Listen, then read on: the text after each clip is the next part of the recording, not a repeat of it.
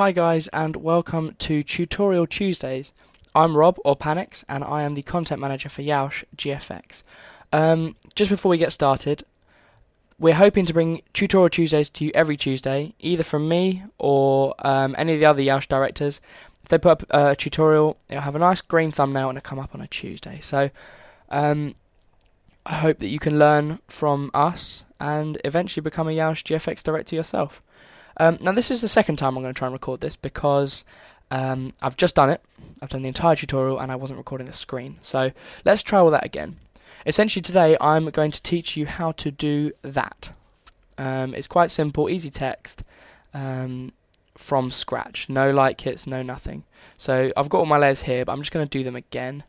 Um, so you're going to go to MoGraph, MoText, and I like mine centered. So we're going to go to object, middle, going to hit E so I can bring it up, and then I'm going to use the same same font as I did last time. So click on MoText, and I'm going to use Impact. You're welcome to use any font you like. Um, obviously, it's, it's your uh, final. Uh, hang on, H I J K. Where the hell is it? What? There we are. Right bad day at the office. Gonna write out PaNiiKzZ. Um, I suggest blockier fonts. They tend to work better for the um, the projects that these sort of things use, but use whatever you want. So we're going to take the first one, we're going to copy it, so it's Control C or Command C if you're on a Mac, and then Control V, Control V. So we've now got three layers, um, and what we're going to do is we're going to hide the top two, and we're going to make the first one 150 deep. Um, and we're going to go to caps. If you've never used caps before, go to caps, fillet cap, and we're going to leave it at about 5. You can play around with all these things for the effect that you're looking for. Um, and now we're going to highlight these two. We're going to bring them forward. Um, we're going to show them again. And we're just going to bring it round so you can see what exactly what's going on. We're going to make them both 35 deep. And we're just going to bring them forward just about that much. Um, so that you've got slight sticking out. You'll see the sort of 3D element, maybe slightly further. Just get a nice bit of depth to it. And so now you want to you've got two layers. You want to bring the first layer, just make it zero depth. So if you hide the other two, you've actually just got a completely flat layer. So those are your those are your three text layers. Now we're going to take a plane. Uh, so you go to the box cube thing, hit plane, and we're just going to make it a bit bigger. And now this is with, without using a single light kit. I'm doing this entire tutorial. And then we're going to rotate it slightly away from us. No, like not like that, like that. No, towards us, sorry. And then we're just going to use E and we're going to bring it up almost out of the shot. Copy, paste, that's Control C and Control V again, and we're just going to bring that one down and rotate it. So it's almost flat, less rotated than the other one, and that's what we're going to do. Now you can see I've already got pre-built materials. That was from when I recorded the tutorial before, but we're going to go through them again.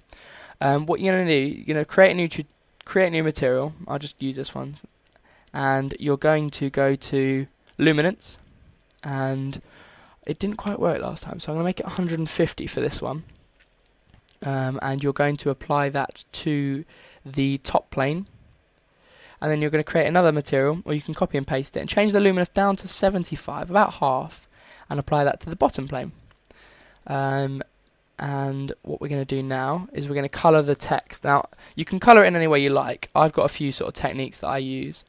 Um, I like making the background a colour, so red, but also I like making the um, the caps quite a sort of nice shiny colour. So we're going to make them white. Now, how do you do that?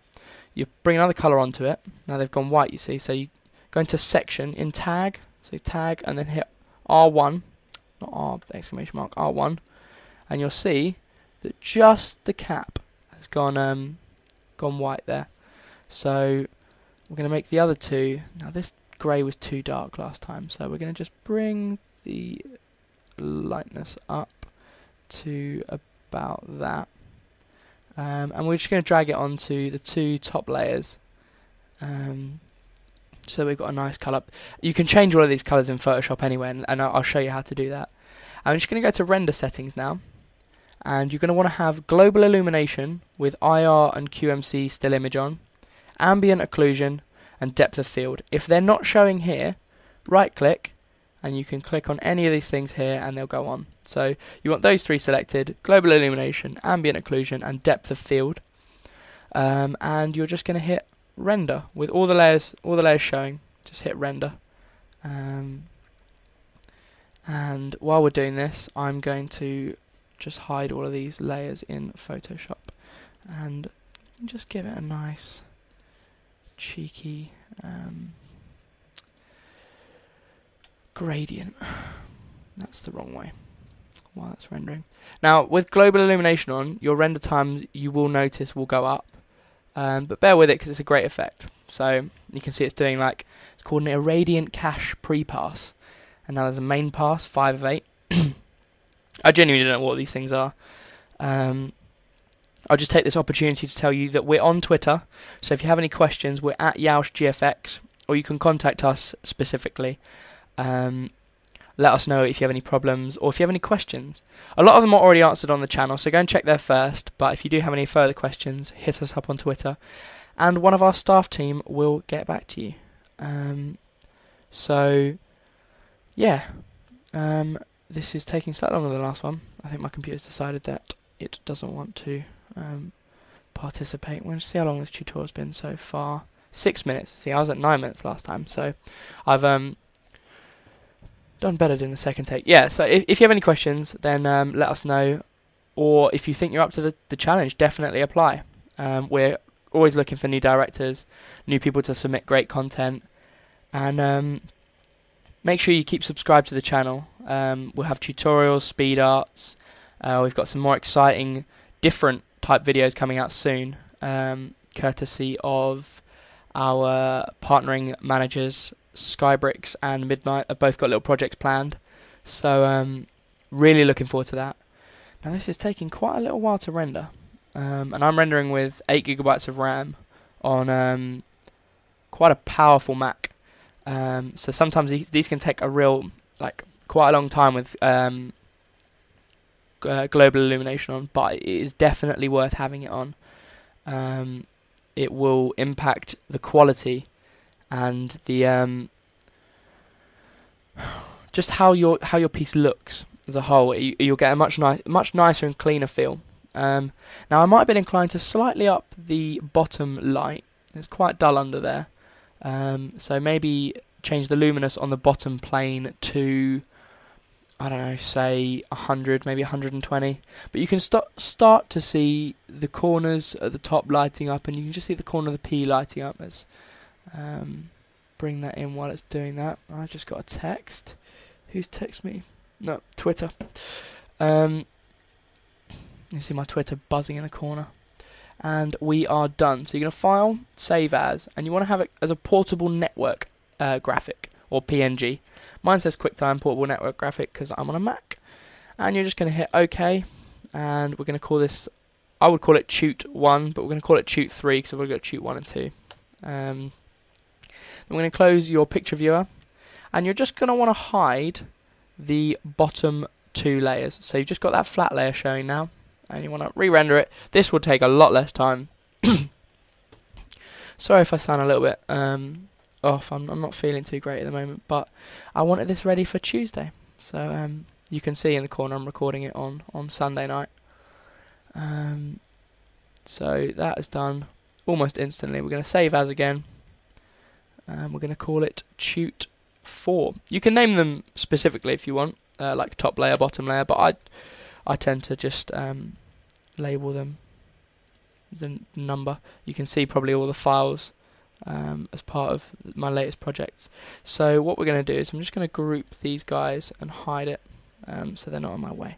Now I'm on a Mac, so I just drag them in, but you just file place and don't move them once you've placed them. Place one and then the other without moving them because otherwise you'll have to go about like realigning them.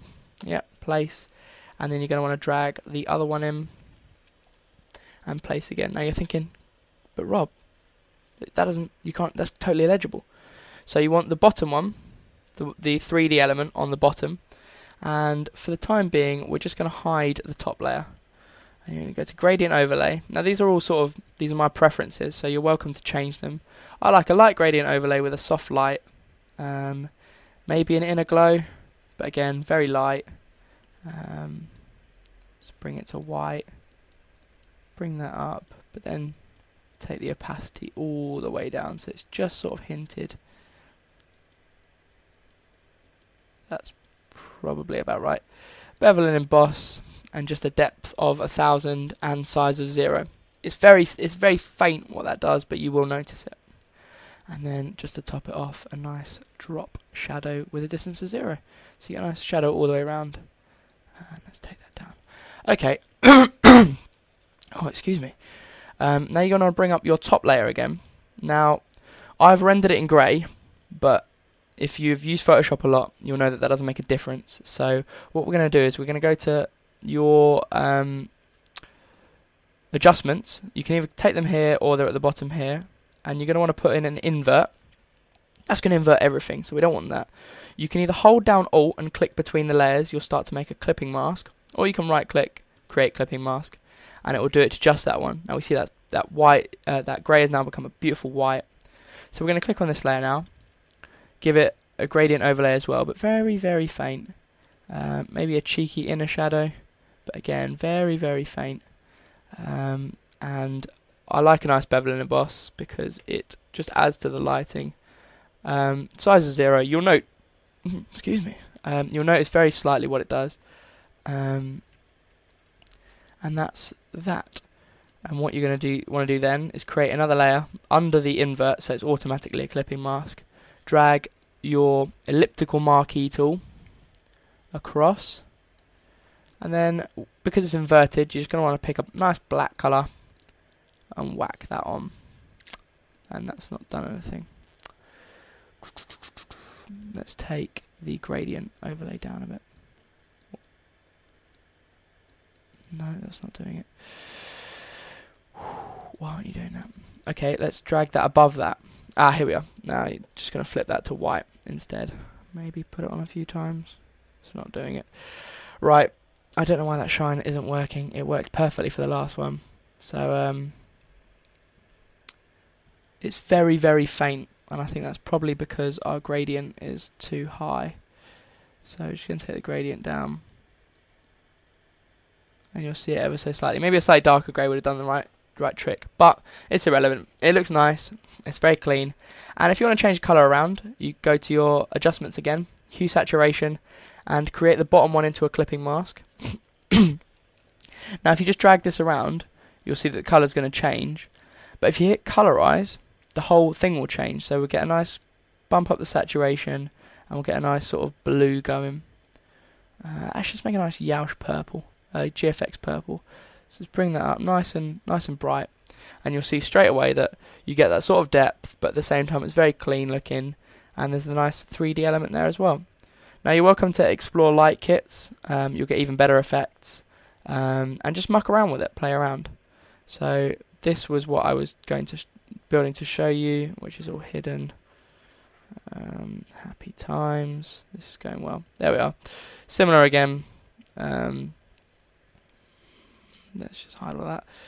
And this was how to make simple glossy glossy text in Cinema 4D. So thank you very much for watching. Um, make sure you're subscribed so next Tuesday you get another tutorial. See you later guys.